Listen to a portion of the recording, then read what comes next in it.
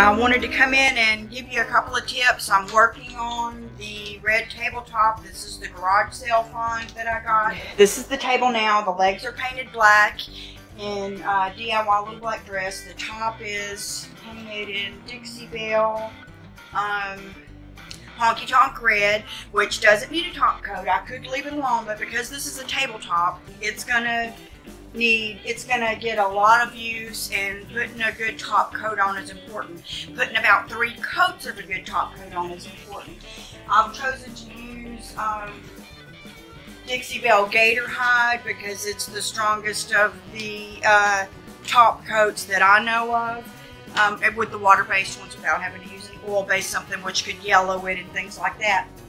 But what I've done since I put the paint on, I've got two coats of paint on here. I'll let those dry. I've got uh, one coat of top coat on, and then where did I put it?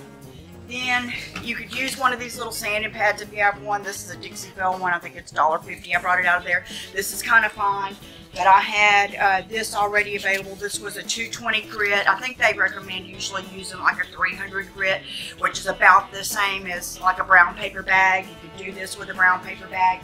But I've already went over it and just lightly sanded it. And what I'm trying to do with that is just create um, some grip between the layers because when you're adding a top coat and you're adding a uh, sort of a slick harder surface on here, it's it's not as much grab on there for the next coat to go down.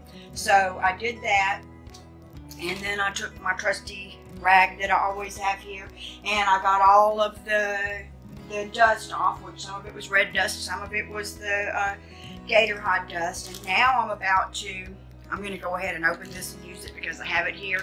This is three bucks. This is a Dixie Belle uh, blue sponge and these things are famous. People go out of their minds whenever you run low on them. But uh, it's a very smooth uh, sponge. Some people even put like a stocking over this, like a lady's knee high or something like that to give it an even smoother texture. I like it because it has this little bit of grip and I'm one of those girls that likes to play in the mud but don't like to get my fingers muddy kind of a thing. So I'm going to put a glove on here in a minute. But if you don't have one of these, I also have this, which I would have used if I wouldn't have had just had some of these come in. And this is a car wash sponge. That's also a very um, finely hold. I don't know what else you would call it. It's also a very, very fine, maybe not quite as fine as this blue one, but it's a very fine uh, sponge. So if I was going to use this, I would take, I would probably have used a bread knife because it's a good serrated knife and cut it in half at least this way, if not again this way, and then used that. I applied my first coat of top coat with the brush and that leaves a little bit of brush marks on here.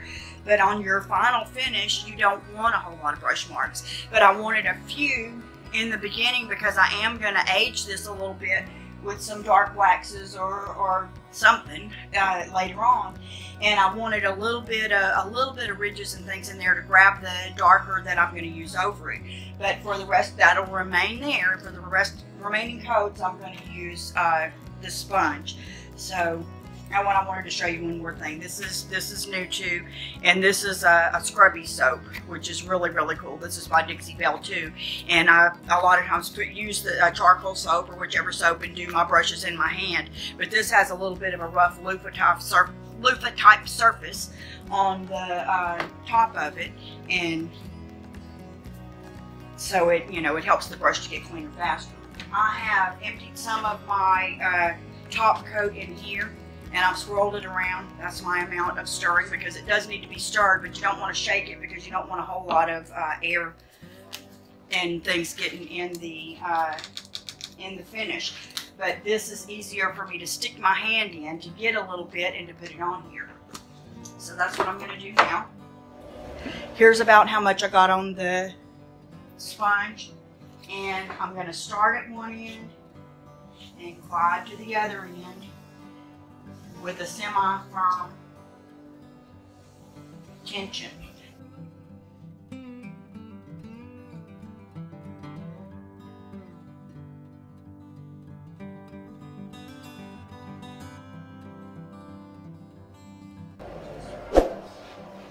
Just redipping each time about the same amount.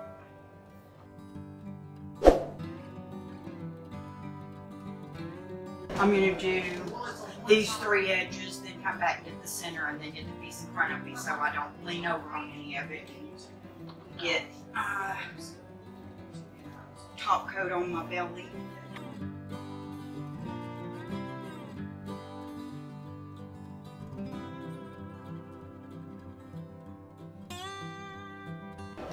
I'm too excited to see what it's going to look like with some of the black in it to wait. So, blows up on me, I'll share that with you too. And we're always here to, to learn.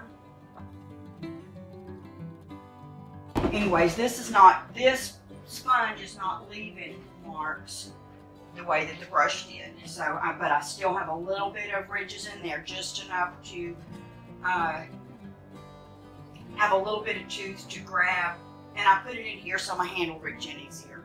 So this is still just my gator hide.